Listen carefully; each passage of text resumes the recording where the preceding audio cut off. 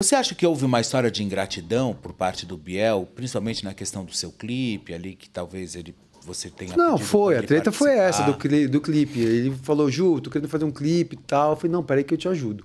Arrumei locação de graça. Já contei essa história, mas assim, arrumei locação, equipe, arrumei tudo ali.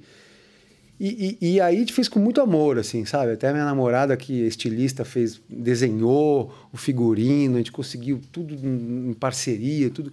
E ele deu uma estrelada lá, que eu fiquei sabendo só no outro dia.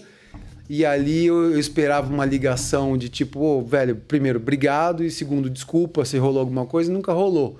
E aí, então isso ficou pesado, e o que, que eu fiz? Eu simplesmente sumi e parei de, de procurá-lo, e tudo bem.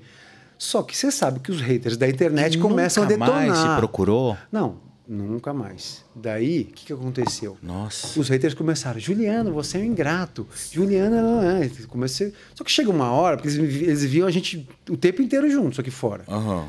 E aí eles pararam de ver e começaram a me tacar pau. Daí eu dei um recado, nem lembro qual que era a emissora, tal. Eu falei assim, ó, ou você conta a história, ou eu conto. Porque eu não vou ficar saindo de, de vilão aqui da história.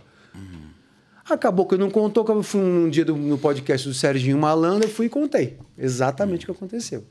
Ele estrelou, mais ou menos isso, resumindo, que já até passou isso pra mim, tá apagado. E ali foi a verdade. E ali meio que morreu, alguns ficaram comigo, outros não ficaram, e tá tudo bem, assim, não tô preocupado. Mas eu contei a verdade por isso. Nunca, quis engajamento da história, tanto é que pra mim morreu ali. Até soube que a Thaís foi, acho que recentemente, num, num podcast e falou mal de mim, mas, cara, tudo bem também, pode falar. Entendeu? Não tem, não tem Nossa, treta. mas que horror. Eu, já, eu sei o que eu fiz. Já fiz os dois voltarem dentro da fazenda e já fiz os dois voltarem aqui fora. Estavam separados. Eu fiz lá, fui um em um.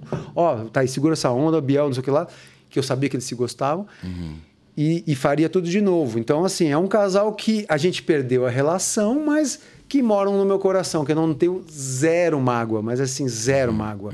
E é o que eu falo até com a Tati, com as pessoas que conviveram assim comigo e com ele, eu falo assim, cara, não tem como dizer que não rolou amor na amizade. Rolou e o carinho é até, até hoje. E o respeito principalmente, sabe, Felipe? Olha, o pessoal tá falando, a Thaís falou mal do Juliano no É. podcast da Prado, né? Que É. é- acho que é da Gabi Prado, né? Que ele falou, que ela falou de você. Ah, mas até aí, eu, Eu sempre assisti. digo, quando, quando é de verdade, fica, bicho. Sim. Quando as pessoas são de verdade, quando a amizade é verdadeira, tipo, Sim. pode acontecer o que for, mas quando não é, passa Você mesmo sabe e vai que, embora. que essa história tanto passou pra mim que eu nem quis assistir o podcast. Ai, vou ver o que ela falou de mim. Não vou, não quero nem saber. Não quero nem saber. Porque meu coração tá tranquilo, eu tô no meu, meu trabalho, eu trabalho feito um louco, graças a Deus. Gosto dos dois, respeito os dois, a gente não convive mais junto, mas foi uma história linda, cara. Eu fico vendo, às vezes, às vezes eu vejo um vídeo e falei, cara, que maneiro que foi legal. Hoje eu tenho outra interpretação, depois que a gente sai, não sei se aconteceu com você, a gente tem outra interpretação. Eu falei, cara, talvez hoje eu fosse muito mais jogador, entendeu? Eu era zero jogador lá. Eu ficava tentando entender onde eu tava ali mesmo. Entendeu? Só que eu, hoje eu já entraria de outra história, entendeu? De outro jeito.